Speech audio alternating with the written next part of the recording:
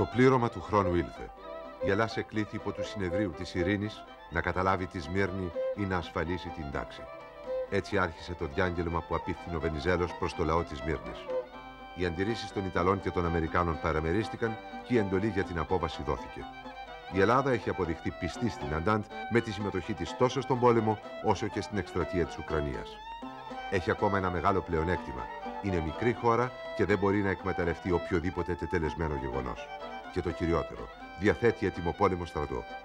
Η άποψη του Λόι Τζόρτζ που επιβάλλεται στους υπόλοιπους συμμάχους του είναι ότι η ελληνική στρατιωτική παρουσία στη Δυτική Μικρά Ασία εξασφαλίζει ένα ισχυρό μέσο πίεσης για την εφαρμογή των όρων της ειρήνης και των μυστικών συμφωνιών.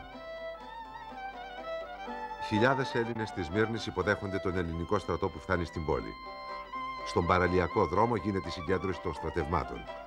Το σύνολο σχεδόν του ελληνικού πληθυσμού με μεγάλο ενθουσιασμό συγκεντρώνεται στην παραλία με ελληνικές σημαίες.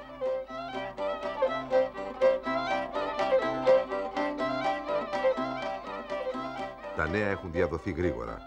Την ίδια μέρα οι Τούρκοι αρχίζουν κινητοποιήσεις. Διανομή όπλων, διαδηλώσεις. Οι πόρτες των φυλακών που ελέγχονται από τους Ιταλούς ανοίγουν και οι Τούρκοι ποινικοί κατάδικοι ενώνονται με τους διαδηλωτές. Η μετριοπαθής προκήρυξη του στρατιωτικού διοικητή που τυχοκολλήθηκε δεν φαίνεται να εξασφαλίζει την τάξη. Όλοι οι νικητές του Μεγάλου Πολέμου θα συμμετέχουν στα κέρδη από το μοίρασμα της Οθωμανικής Αυτοκρατορίας και μονάχα οι Έλληνες θα χρειαστεί να ξαναπολεμήσουν.